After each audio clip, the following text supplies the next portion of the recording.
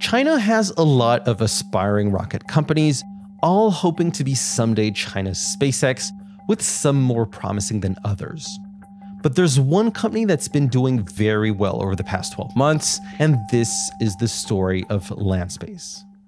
Now, at first glance, Landspace looks like any other Chinese commercial launch company. During the second half of the 2010s, China began relaxing regulations and opening up the space sector, leading to the establishment of more than a dozen launch startups, all jumping at the occasion to develop their own rockets. And Landspace was one of them. It was formed in June 2015 by these three guys, who were a fascinating mix.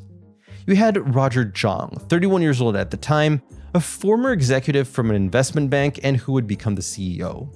You also had Wushu Fan, a technical guy in his early 50s, who had this international background, having worked 11 years at ESTEC for ESA.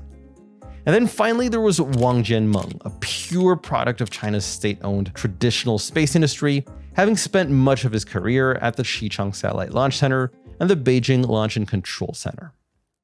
So these three guys get together and set up their headquarters in Beijing, in a remote district called Yizhuang, which is basically where all Chinese commercial launch companies went due to just the historical background of the area in launch. And Landspace starts doing what all startups do at the beginning they start to raise money. And we're in a period at the time when the Chinese economy is booming, with notably record amounts of venture capital being poured into the high tech industry. Landspace quickly manages to secure money from VC firms, including a couple of very high profile investors such as Matrix Partners China or Sequoia Capital China. Additionally, Landspace also gains the support of the municipal governments of several cities eager to attract high tech companies to their territory. And this is why, over the years, among other reasons, Landspace would set up facilities in Huzhou, Jiaxing, and more recently, Wuxi. So Landspace starts designing its first rocket, the small solid fuel Zhuque 1, capable of putting 300 kilograms into low Earth orbit. But soon enough, Landspace runs into its first hurdle.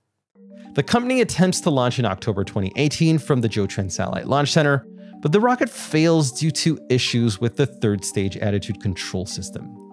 And starting from there, this is where Landspace starts to do things a little bit differently from its other competitors domestically.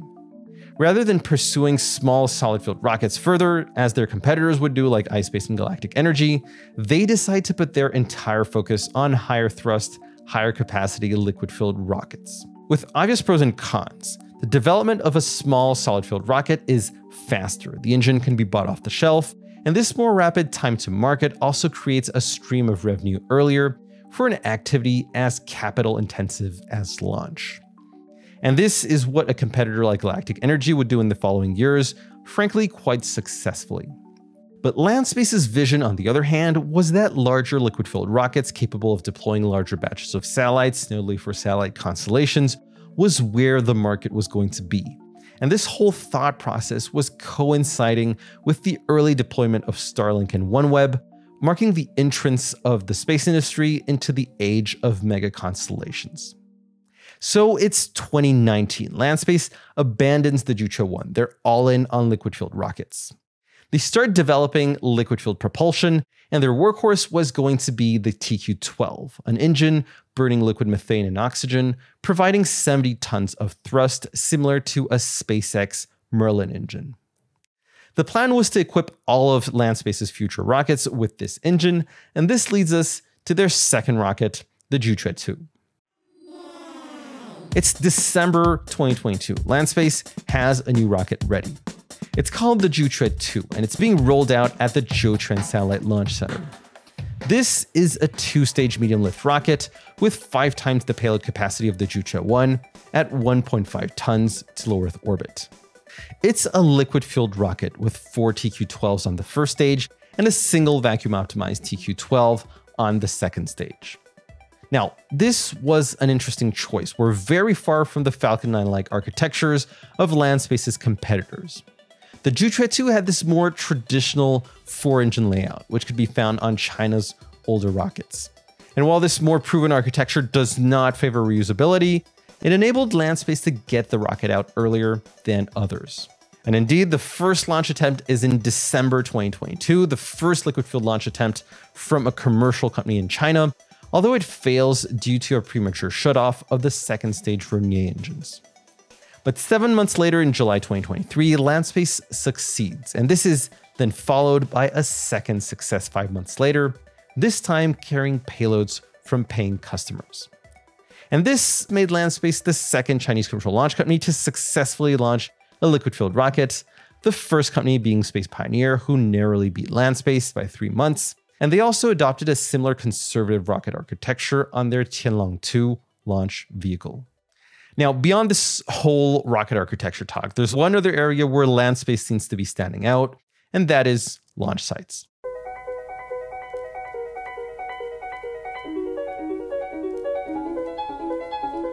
Chinese commercial launch companies generally haven't built their own launch sites. They don't have to. China has been funding the construction of a new state owned launch site in Wenchang called the Hainan International Commercial Launch Center.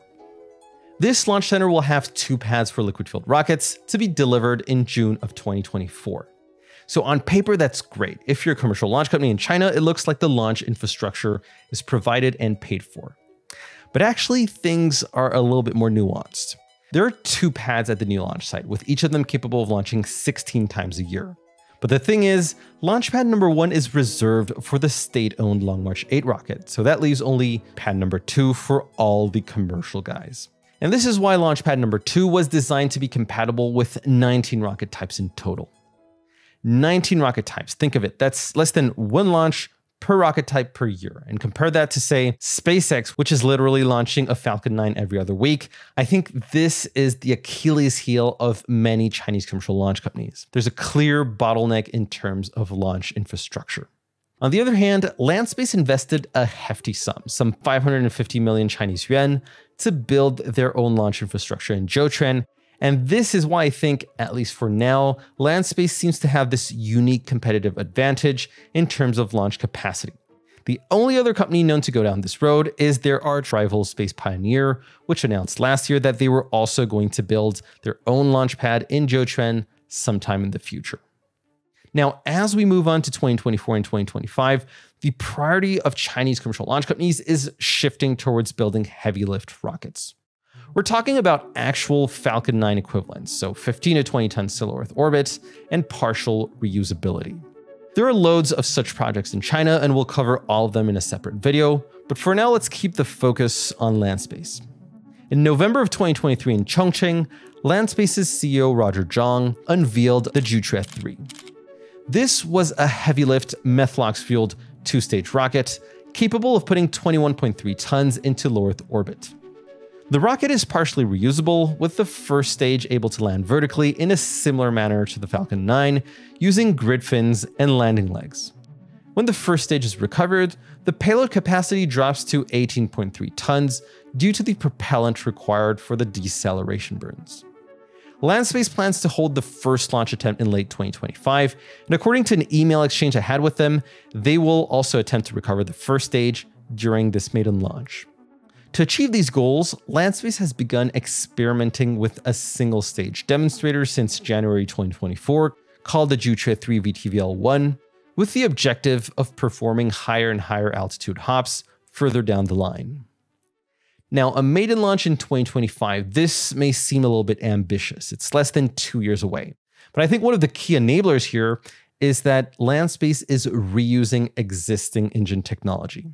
The first stage on the Zhuque 3 will be equipped with 9 TQ12 engines, and more specifically, the TQ12B, which is an improved version of the TQ12 that's lighter with a higher thrust, so a higher thrust rate ratio, and also that's optimized for engine reusability.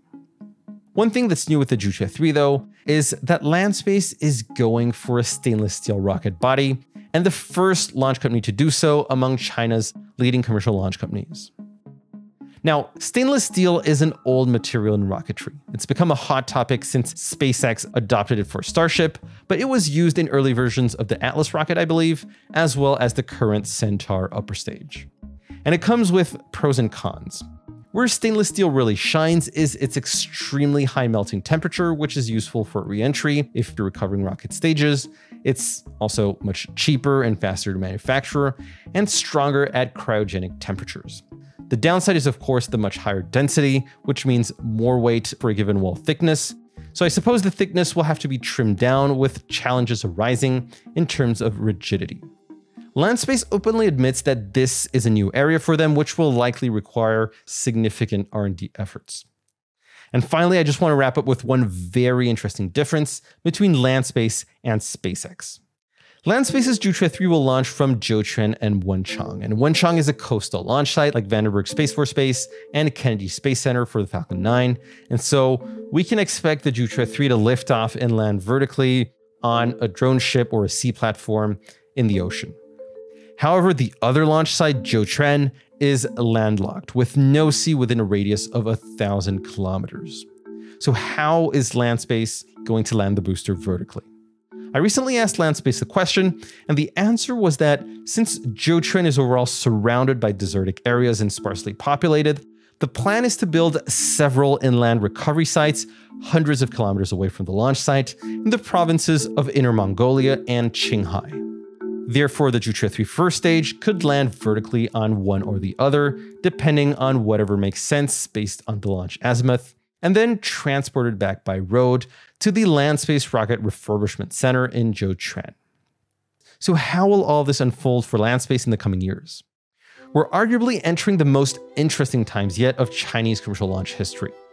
Many of Chinese Falcon 9 equivalents should begin to see the day over the next 12 to 24 months and compete fiercely for the domestic launch market, of which a large part is going to be the deployment of China's broadband mega constellations, but also to a lesser extent, Earth observation constellations, and likely some interesting new launch contracts that we have never seen before, such as China's future low cost commercial cargo program. Landspace as well as Space Pioneer have a slight advantage on their other domestic competitors. Their liquid fuel rockets are operational sooner, and they both have or will have their own launch facilities, boosting their launch capacity. But then again, there are also other very well funded competitors which are not so far behind, so we'll have to see. Who would you bet your money on in this commercial launch race taking place in China? Let me know in the comments below. And as always, I want to say a special thank you to my patrons on patreon.com and YouTube memberships. If you enjoyed these videos, please consider joining the community and supporting my work with Dongfang Hour. Thank you very much for watching, and I'll see you in the next video.